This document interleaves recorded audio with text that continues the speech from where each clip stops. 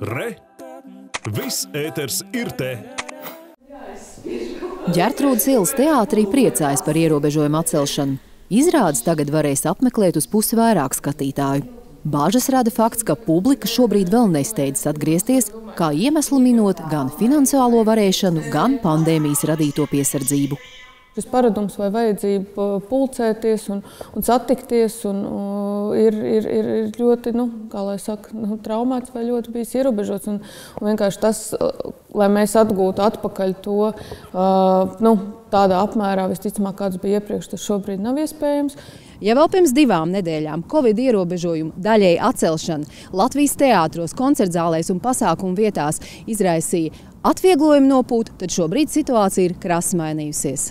Ne, mēs domājam, ka Covid beigsies un viss atsāksies, bet, bet nekas neatsākās. Mēs esam vēl lielākas krīzes ierauti. Un, un tagad arī runājot ar māksliniekiem, nu, ārkārtīgi sarežģīti kādam šobrīd ir padomāt par, par koncertēšanu.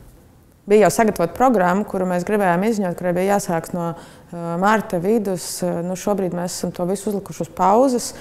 Latvijas kultūras dzīves pētnieki atzīst, ka Krievijas agresija Ukrainā ir daļēji dzēsus aktuālās pandēmijas radītās problēmas Latvijas kultūras organizācijās.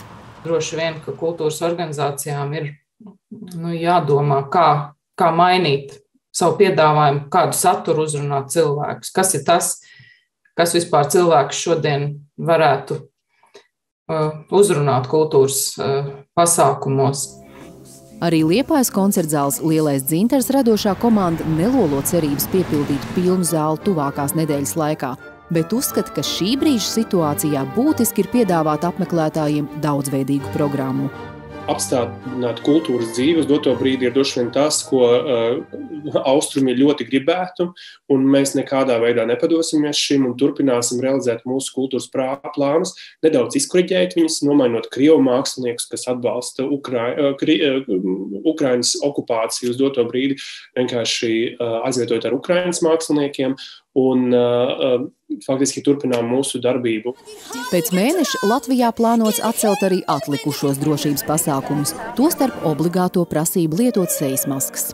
Līga Gaigala un Pēters Barkevičs, Latvijas televīzija.